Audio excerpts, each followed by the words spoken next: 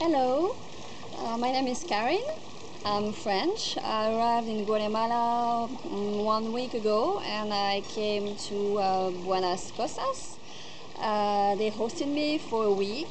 Uh, they greatly hosted me for a week, and also thanks to them, I did some uh, volunteering in a school. I had a chance to teach English to um, kids from 7 to 13 years old. It was a great experience for me. It was my first experience with uh, volunteering and with kids and with teaching, so it was a lot of first times.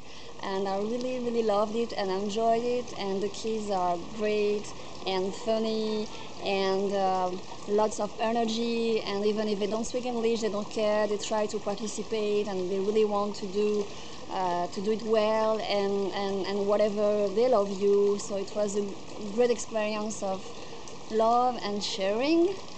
Uh, and also thanks to Buenas Cosas, I also had a chance to meet um, typical Guatemaltec, Guatemaltec family. Uh, two parents and the grandfather and five kids and I also had a chance to spend uh, two days with them so it was quite of an experience too.